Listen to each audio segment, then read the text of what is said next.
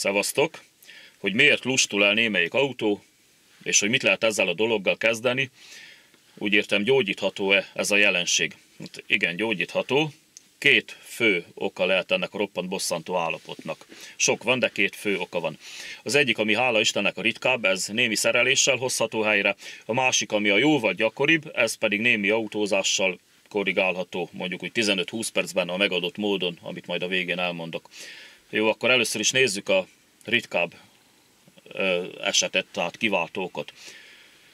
Nem is olyan kell, hát szerintem elég sokan vannak, tehát jól mondtam végül is nem kevesen, hanem sokan vannak olyanok, akik hozzá nem értésből, vagy egyszerűen csak nem törődömségből kétszer-háromszor annyit mennek egy szervizegységnyi motorolajjal, mint amennyit a szakirodalom megenged. Ennél fogva az olaj felhigul, a viszkozitási, vagyis tapadási index, indexelre jelentősen le fog romlani, sokkal gyengébb lesz a surlódás csökkentő képessége az előírtnál, és egyszerűen elkopnak a kompressziógyűrűk. Ezután a hengerből a tökéletlen tömítettség miatt elszökik a kompresszió, a motor sokkal gyengébb lesz, nem fog húzni az autó, érezzük majd, hogy nem, egyszerűen nincs benne kakaó, és típushoz mérten irreális módon kell visszakapcsolni emelkedőknél a sebességfokozatot, hogy egyáltalán fel tudjunk vele menni. Hát erre a problémára a gyógyír az, hogy ki kell cserélni a dugattyú gyűrű készletet, ennyi. A másik, ami a jóval gyakori probléma, szerencsére ez a jóval gyakoribb, és ez pillanatok alatt helyrehozható, az amikor hát ilyen állandóan, rövid távon, kényelmesen, öreguras, vagy valaki ilyen kifejezés is használ, hogy tanárnős stílusban vezetünk, és emiatt lustul el az autó. Itt a tünetek ugyanazok lesznek egyébként, mint az előző problémánál, viszont ez esetben pillanatok alatt helyrehozható a probléma, illetve kijavítható ez, a, ez az idegesítő állapot megszüntethető. Ugyanis ilyenkor a kényelmes vezetés során az történik, hogy nincs rá lehetősége a motornak, hogy annyira felforrósodjon, hogy beinduljanak benne az öntisztulási folyamatok, így koromlerakódások fognak képződni a kipufogó rendszerben, de főleg a kipufogó csonkokban, és ez meglehetősen erős folytóhatással bír.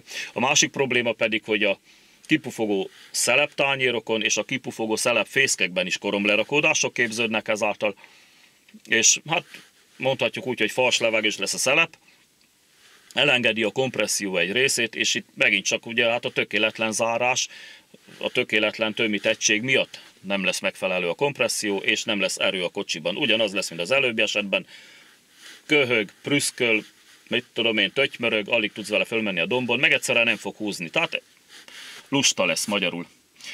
Jó, erre pedig a gyógymód a következő. Nagyon egyszerű, ha azt érezzük, hogy már ilyen tüneteink vannak, illetve az autónak ilyen tünetei vannak, akkor ki kell vele menni valami olyan útra, ahol az a lényeg, hogy 15-20 percen keresztül minimum 3000-es fordulaton kell menni egyfolytában, és közben úgy 4-5 alkalommal a pirosba kell küldeni a fordulatszámérő mutatóját. Ettől szépen a kipufogó csonkokból ki fog égni a korom, ezzel már kiiktattuk a folytóhatást, plusz a kipufogó szeleptányérokról és a kipufogó szelepfészkekből ki fog égni a koromlerakódás, tökéletesen fognak ezek, fog illeszkedni a tányér a fészekbe, tökéletes lesz a zárás, az illeszkedés, és így nem fog elszökni, tehát nem lesz fals levegős a kipufogó szelep, ennek köszönhetően pedig mind a sűrítés üteménél, mind pedig a robbanás pillanatában az előírt nyomásértékekkel fog működni a motor. És újra pörgős lesz, erős lesz, bika lesz. Hát olyan lesz, amilyenre a gyártók tervezték, ugye. És egyébként teljesen mindegy, hogy autó vagy dízelmotorokról beszélünk. Nincs jelentősége, mindkettőnél ugyanez az eljárás. Köszönöm a figyelmet, szevasztok!